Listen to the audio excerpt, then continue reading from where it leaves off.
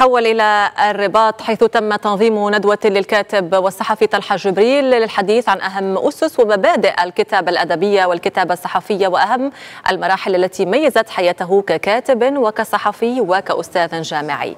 ألقى طلحة جبريل كلمة تحدث فيها عن حياته ومقالاته وعمله وتقاسم مع مختلف الحاضرين شغفه بالصحافة وحبه للكتابة داعيا الجميع إلى الإقبال على القراءة وخلق فعل فكري ثقافي وأدبي في جميع مقاهي الرباط وبمختلف المدن المغربية.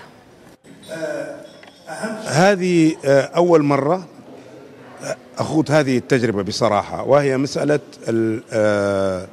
الحديث عن كتب لجمهور.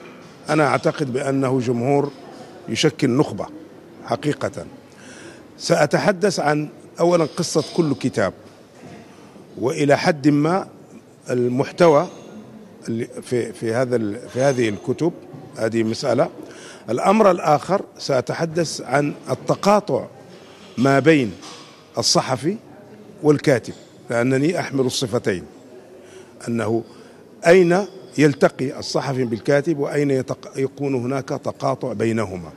ما هو الفرق ما بين الكتابة للصحافة التي يعني فعلا ينطبق عليها أنها في الصحفي يؤرخ للحظة والكاتب الذي في بعض الأحيان يؤرخ للأزمنة وأمكنة.